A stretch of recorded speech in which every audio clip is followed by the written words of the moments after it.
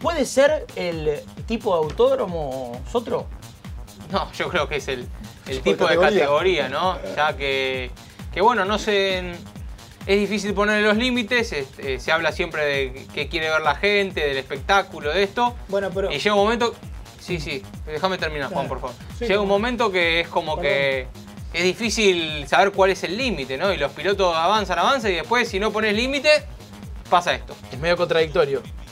Lo que veíamos recién de, de Chiriano no se puede tomar como un toque de fricción porque es un accidente, viene complicado Sí, Chiriano. Juan, pero se- hoy No se está. repartieron bien, pero no, Juan, te- no pero- estamos pero no hablando de eso, agarres Juan. una gota de agua. A ver, esta, hoy leía en Twitter a la tarde todos los hipócritas que decían, eh, mucho toque. Son los mismos que están todos después de la semana diciendo, qué espectáculo, aguante el chapa chapa. Déjense joder entonces. O sea, es Para una mí, cosa y para mí Es fue una carrera, una carrera típica de tenis, ¿no? Bueno, listo. Es Cuando lo difícil saquen en una caja alguno, después bueno. Eh, es una caja. saber qué es lo que se sanciona, qué es lo que no, porque cuando dejas tan, tan abierto las maniobras, o sea, esto vale, esto no, entonces es complicado para la comisión deportiva, para los pilotos, aparte te empezás a cebar, porque que viene Ah, al lado ah, ah. te da un, un chapazo en medio UFC puerta. es esto. Claro. Te Vale todo. corre y no, a nadie no pasa nada y bueno, y vos haces la misma y No, es un vale todo. Yo digo siempre lo mismo, mientras los comisarios deportivos no sancionen las maniobras muy friccionadas del tenis, porque vale.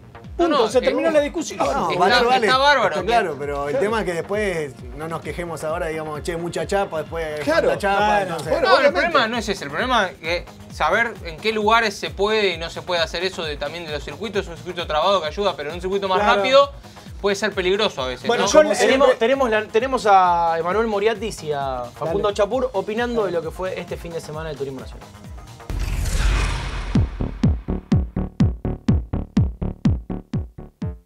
Se dieron un poco de más ahí cuando, cuando vos estás en tres y en ese, en ese pelotón que venía. Intentaba esquivar, eh, obviamente se chocaban, se pasaban, yo intentaba hacer mi carrera, pero los iba pasando eh, y justo se da el, el momento que se recupera mi auto.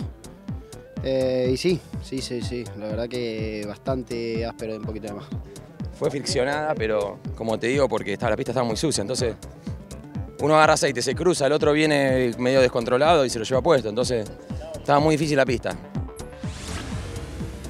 No sé si me quedo con la pista, como dice Moriatis, si voy con Chapur, que dice la verdad sí muy friccionada. La categoría. ¿De qué lado, de qué lado nos Pero ponemos? en todas las carreras pasan que se chocan de más y hay varios toques que son súper polémicos.